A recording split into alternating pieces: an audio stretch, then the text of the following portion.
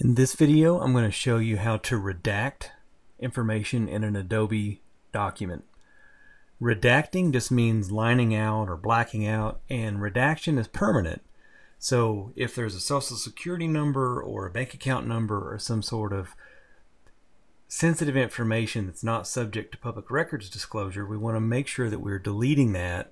And the way you can delete that is by redacting. So once you redact it and save it, hackers can't go back in and see that information. It's it's totally and permanently removed from the document. The way that you do this is uh, we need to look for the redact tool. There's redact, so I'm just going to click that and we get the options up here in the top.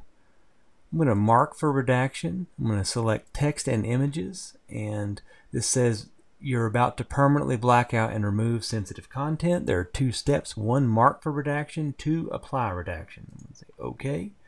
So let's pretend that these lines here are social security numbers.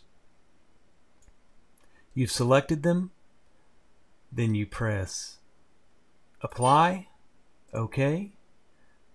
And then it says redactions have been successfully applied. Would you like to also find and remove hidden information in your document and I'm going to press no. You press save and it's going to save it as a separate file and it's going to save it as the name of the file and then redact it. I'm just going to say redacted. Save.